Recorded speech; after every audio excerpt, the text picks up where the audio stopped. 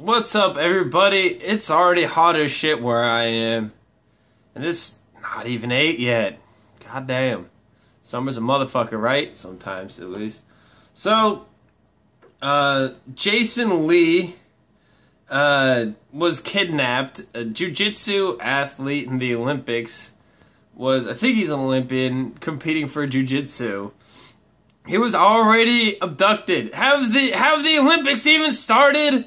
And somebody's already gotten kidnapped by people that were dressed in police uniforms. Hey, real quick, if you thought going to Rio de Janeiro, Brazil was a great idea for the Olympics, you don't know what the fuck happens in Brazil. Real quick, it doesn't matter if you're an Olympic athlete or anything, just because you are a dude in a car.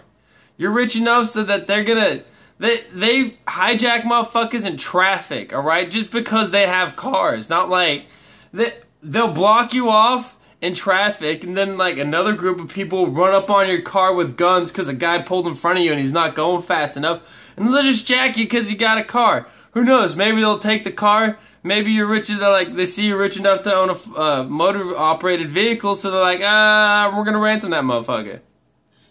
What I'm getting at is they don't even give a fuck if you're part of the Olympic teams. They kidnapping everybody in Rio de Janeiro. Everybody! They kidnap motherfuckers down there like it's nothing. They also have all, it just, it's, it's crazy down there right now. You're fucking tarded if you're going there, especially as an Olympic athlete. They're gonna kidnap the shit out of those people. It's not even started yet. Somebody's already been kidnapped. On top of that, they just kidnap random motherfuckers all day long.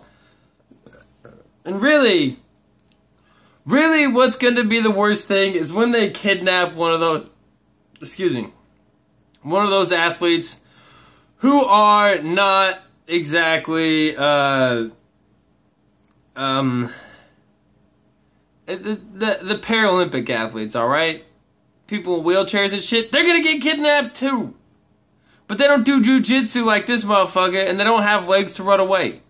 It's fucking stupid having the Olympics in Rio when you even research slightly about how many people get, being getting kidnapped down there, and they're not even Olympic athletes. They're just motherfuckers, just random ass motherfuckers getting kidnapped all goddamn day, son.